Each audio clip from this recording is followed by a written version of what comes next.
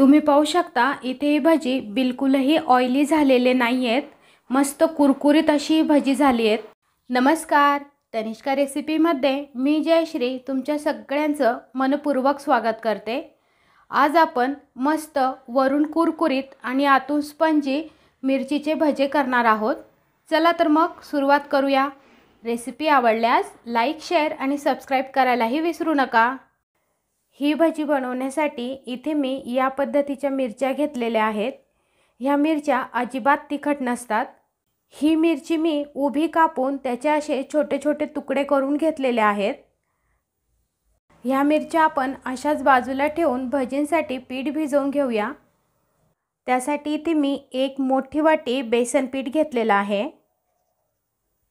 त्यात आपण एक बारीक कापलेला कांदा ॲड करू. त्यानंतर एक चमचा अद्रक लसूणची पेस्ट पाव चमचा लाल मिर्च पावडर वापरते. तिखट नाही वापरलं तरीही चालेल. ह्या मिरच्या फार तिखट नसतात म्हणून मी इथे पाव चमचा लाल मिर्च पावडर वापरते. पाव चमचा हळद पाव चमचा हिंग त्यानंतर एक चमचा जाडसर कुटून घेतलेले धने एक चमचा ओवा ॲड करायचा आहे. ओवा थोडा हातावर चोळून ॲड करायचा आहे. बारीक कापलेली कोथिंबीर. अर्धी वाटी बारीक कापलेली कोथिंबीर वापरते. आपण बारीक कापून घेतलेल्या मिरच्या. त्यानंतर चवीनुसार मीठ. हे सगळे जिन्न चांगले मिक्स करून घ्यायचे आहेत. या पद्धतीने हे सगळे जिन्नस चांगले मिक्स करून घेतले तर आपल्याला हे पीठ भिजवायला सोपं जाईल. इथे सगळे जिन्नस चांगले मिक्स करून झालेले आहेत. आपण आता यात थोडं थोडं पाणी ॲड करून हे पीठ भजींसाठी भिजवून घेऊ.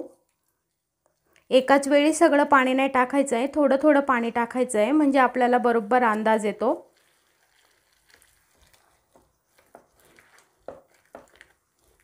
इथे हे पीठ व्यवस्थित असं मिक्स करून झालेलं आहे. तुम्ही पाहू शकता खूप पातळही नाही आणि खूप घट्टही नाही असं हे पीठ आपण भिजवून घेतलेलं आहे. अगदी आपल्याला व्यवस्थित असे भजे टाकता येतील असं हे पीठ भिजवून झालेलं आहे. सगळ्यात शेवटी आपण यात दोन चिमूट सोडा ॲड करू.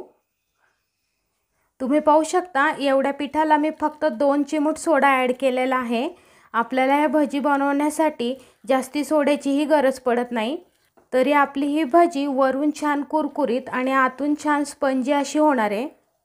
इथे सोडाही व्यवस्थित मिक्स करून झालेला आहे.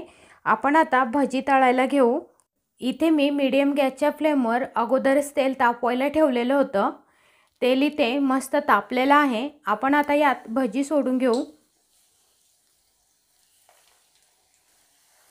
गॅसची फ्लेम मिडियमच ठेवलेली आहे.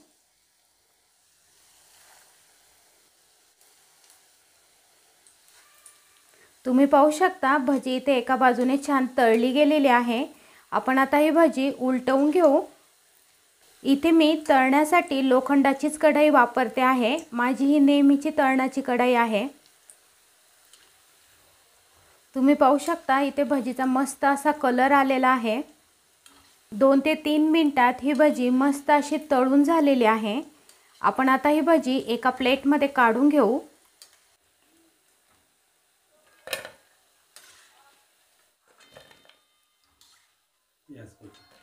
आणि याच पद्धतीने उरलेल्या पिठाची भजी तळून घेऊ. मस्त गरमागरम इथे मिरचीची भजी तळून झालेली आहे. तुम्ही पाहू शकता किती छान स्पंजी अशी भजी झालेली आहे. तुम्हाला ही भजीची रेसिपी कशी वाटली ते कमेंट करून नक्कीच सांगा. तुम्ही हा व्हिडिओ पाहिला त्याबद्दल तुमचे मनपूर्वक आभार. पुन्हा भेटू अशाच एका नवीन रेसिपीसोबत तोपर्यंत बाय बाय